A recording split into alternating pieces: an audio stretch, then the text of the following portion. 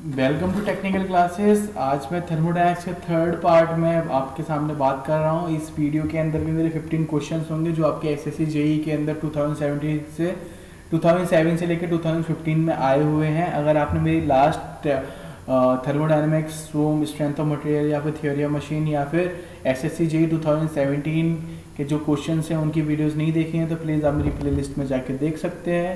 और आपने अभी तक मेरा चैनल सब्सक्राइब नहीं किया है प्लीज़ आप मेरा चैनल सब्सक्राइब कर लीजिए। फ़र्स्ट में प्रॉब्लम देख लेते हैं।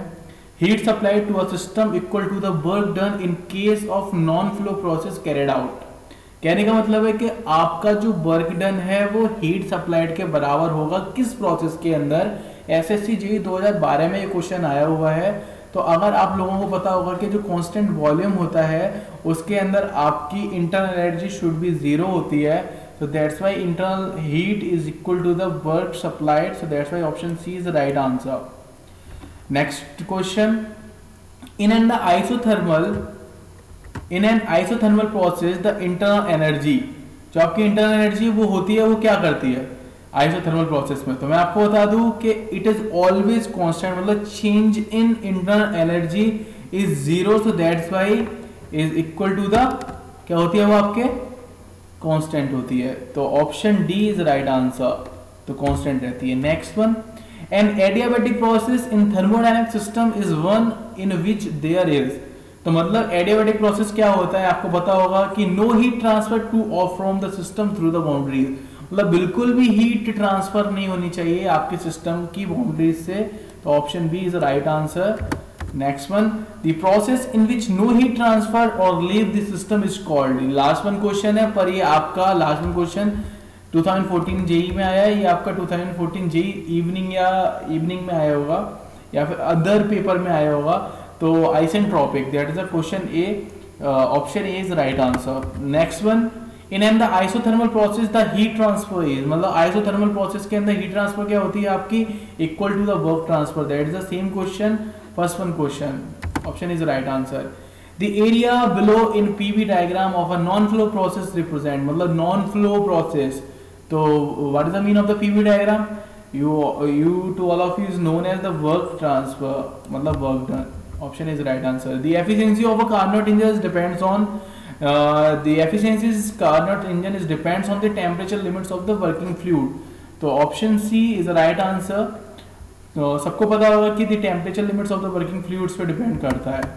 Next one enthalpy is calculate as the तो आपने एक फॉर्मूला पढ़ा होगा कि that is a formula H is equal U plus P B तो वही वही कुछ फॉर्मूला है यहाँ पे कि sum of the internal energy and the product of the pressure and volume so option B is a right answer next one an open system on which मतलब जो ओपन सिस्टम होता है उसके अंदर क्या होता है? सबको पता होगा कि जो ओपन सिस्टम होता है उसके अंदर से आपका मास और एनर्जी दोनों क्रॉस कर जाती है बाउंड्री से तो both energy and mass cross the boundaries of the system तो it is called the open system option C is right answer तो question nine option C is right answer next one neglecting change in the potential and kinetic energy the shaft power the shaft work during the study flow process is given by this is the open system, so that's why work done is always equal to the integration of bdp और negative sign और होता है।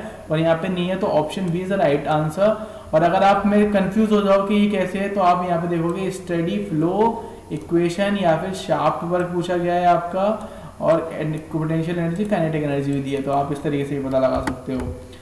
Second law of thermodynamics is defines मतलब जो second law of thermodynamics होता है, उससे क्या पता पड़ता है आपका? दैट इज़ एंट्रोपी आपने पढ़ा होगा क्लॉसियस इनइक्वलिटी तो that's why the generation of the entropy तो option A is right answer question 11 option A is right answer next one for thermodynamic cycle to be the irreversible it is the necessary that कि जो आपकी thermodynamic cycle होती है for the irreversible उसके लिए क्या possible है? That's a Clausius inequality आपको पता होगा कि अगर इरिवर्सिबल होती है that's a less than zero और अगर रिवर्सिबल होती है तो that's equal to the zero तो बट या तो इरिवर्सिबल पूछा है तो that's why option B is right answer कि less than zero next one the maximum efficiency that a heat engine operating between the 320 degree centigrade and the 27 degree centigrade can be SSC J 2012 में आए आपको एक फॉर्मूला पता होगा one minus T lower over T higher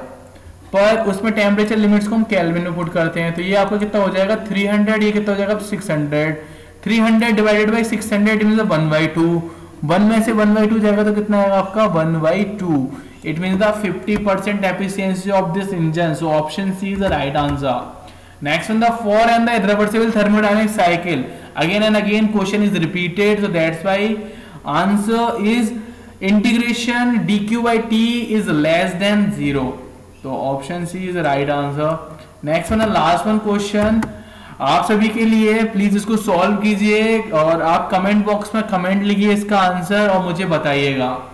thank you for watching जो भी candidate video देख रहे हैं और प्लीज़ सब्सक्राइब कीजिए. अगर जिसने एस एस की लास्ट ईयर की मेरी वीडियोस नहीं देखी हैं तो प्लीज़ प्लेलिस्ट में जाके देखिए. आपको फ़ायदा मिलेगा. जितनी भी आपके प्रॉब्लम्स है लास्ट ईयर एस एस के एग्जामिनेशन में आई हुई है, वो सारी वीडियोज़ मैंने डाल रखी है. जैसे पीडी पीपीटी मेक करके बना रखी है सारी, आप देख सकते हैं, आपको प्रॉब्लम नहीं होगी। अगर आपको कोई क्वेरी होती है, आपको किसी अदर एग्जामिनेशन की पीपीटी चाहिए तो प्लीज़ कॉन्टेक्ट मी मैं हेल्प करूँगा आपकी। Thank you for watching